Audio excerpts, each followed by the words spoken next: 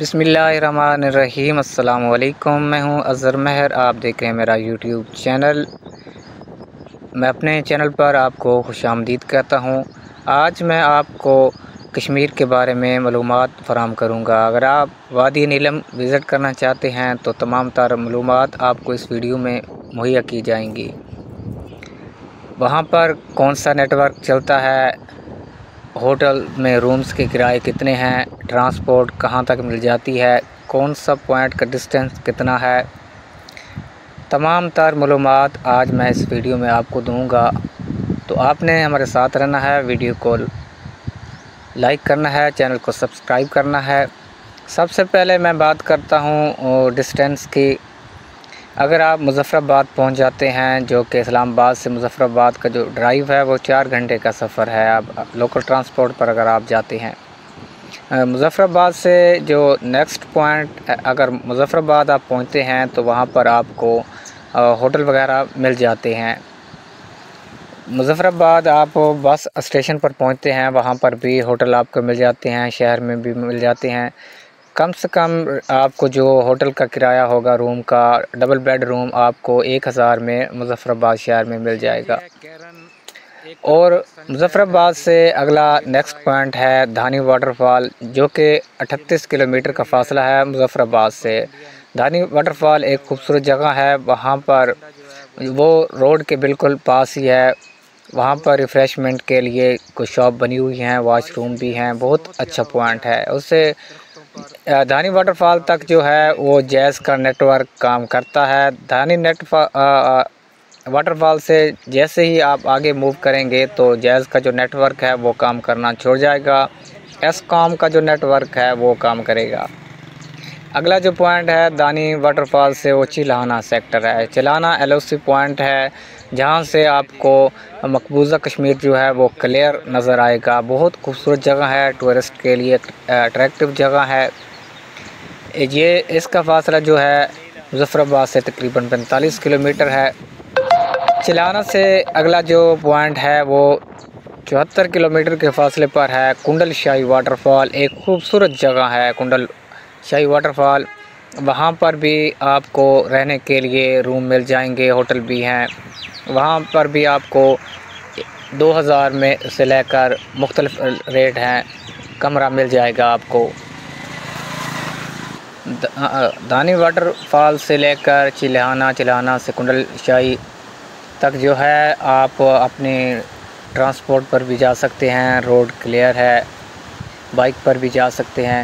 کنڈل شاہی آبشار بہت خوبصورت جگہ ہے۔ کنڈل شاہی سے آگے جو ہے، اسی سائڈ پر جاگراں ہے، کٹن ہے۔ کٹن کا جو فاصلہ ہے، وہ تقریباً پانچ کلومیٹر ہے۔ اس سے آگے جاگراں ہے۔ جاگراں سے آگے بابون میڈوز ہے۔ بابون میڈوز بھی ایک خوبصورت جگہ ہے۔ جب آپ بابون میڈوز پر پہنچیں گے، وہاں پر نیٹ ورک کام نہیں کرے گا۔ وہاں پر آپ کو کیمپنگ کرنی پڑے گی۔ وہاں پر ہوٹل نہیں ملیں گے۔ اگر آپ بابون میڈوز جانا چاہتے ہیں تو جولائی کے اینڈ اور اگست میں جائیں، کیونکہ وہاں پر گلیشیر جو ہوتے ہیں وہ تقریباً پگھل جاتے ہیں۔ وہاں دیکھنے کے لیے خوبصورت آپ کو ماحول ملتا ہے۔ گرینری آ جاتی ہے، فلاورنگ ہوتی ہے۔ کنڈل شاہی، آبشار جاگراں کٹن اور بابون میڈوز کے بعد جو نیکسٹ پوائنٹ آتا ہے، جو فیمس ہے، وہ ہے رتی گلی لیک. رتی گلی لیک جو ہے، وہ دواریاں آپ کو جانا پڑے گا. مظفر آباد سے اس کا جو فاصلہ ہے، وہ نائنٹی فور کلومیٹر ہے.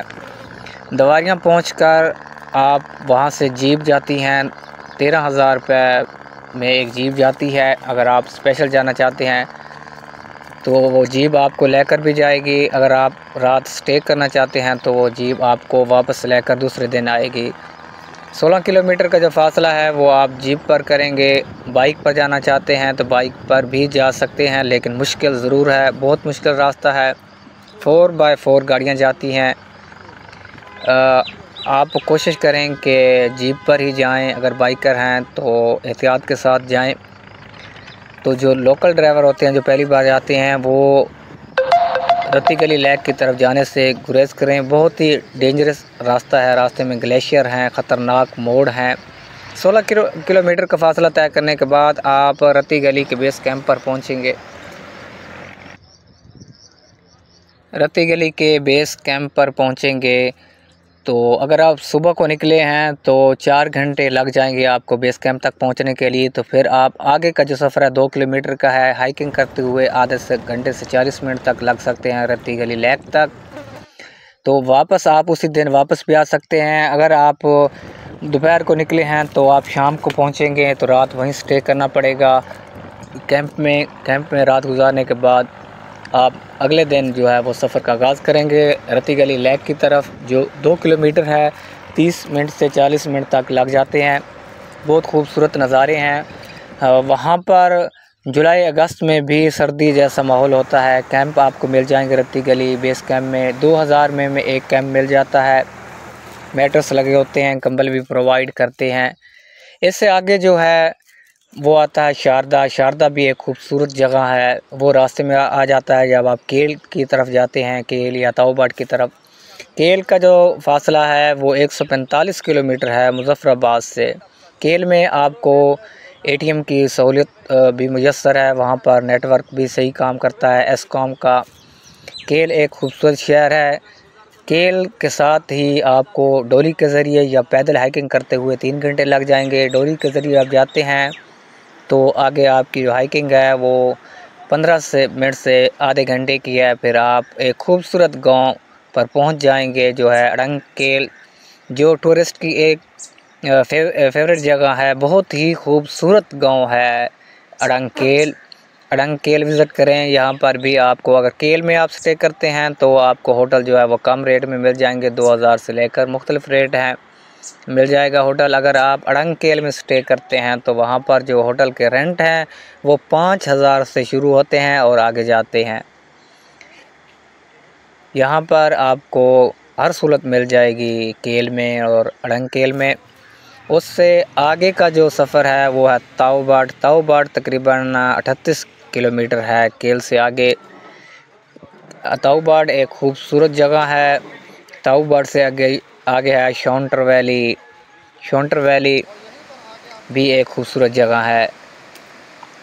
اور جب آپ دواریاں سے شاردہ شاردہ سے آگے جو آتا ہے، وہ کیرن سیکٹر آتا ہے۔ Keran sector L O C point ہے، جہاں سے پاکستانی سائڈ اور انڈین سائڈ جو ہے، کلیئر نظر آتی ہے۔ درمیان میں دریائے نیلم ہے، وہاں پر ہوٹل وغیرہ ہیں۔ وہاں پر ہوٹل کے جو کرائے ہیں وہ پانچ ہزار سے تقریباً اوپر اوپر ہیں۔ خوبصورت منظر ہے، کیرن کا، کیرن لازمی وزٹ کریں۔ کیونکہ پاکستانی سائڈ کے جو لوگ کھڑے ہوتے ہیں اور انڈین سائڈ کے جو لوگ کھڑے ہوتے ہیں، ایک دوسرے کو آوازیں لگاتے ہیں، کلیئر آواز سنائی دیتی ہے دونوں سائڈ کی۔ بہت خوبصورت جگہ ہے، کیرن کیرن ضرور وزٹ کریں۔ وہاں پر تمام تر سہولیات آپ کو مل جائیں گی۔ کیرن کے ساتھ ہی ہے، اپر نیلم گاؤں ہے۔ چند کلو میٹر میٹر کے فاصلے پر ہے۔ اپر نیلم گاؤں بھی ایک انتہائی خوبصورت جگہ ہے۔ اپر نیلم گاؤں وزٹ کرنے کے بعد اگر وہاں پر آپ سٹے کرنا چاہتے ہیں، اپر نیلم میں وہاں پر بھی ہوٹل آپ کو مل جاتے ہیں۔ وہاں پر ہوٹل کے جو کرائے ہیں، وہ جو ہے تین ہزار سے لے کر مختلف ریٹ ہیں۔ اوپر کی طرف جاتے ہیں، پندرہ ہزار تک آپ کو روم ملتا ہے۔ اگر آپ وہیں سے پتلی گلیاں کی طرف جانا چاہتے ہیں تو وہ بھی کیرن سے روڈ جاتا ہے، پتلی گلیاں لیک کی طرف، پتلی گلیاں لیک کا ٹریک مشکل ضرور ہے ضرور ہے، لیکن بہت ہی خوبصورت جگہ ہے پتلی گلیاں لیک۔ یہ تھی تمام تر انفارمیشن کشمیر کے حوالے سے۔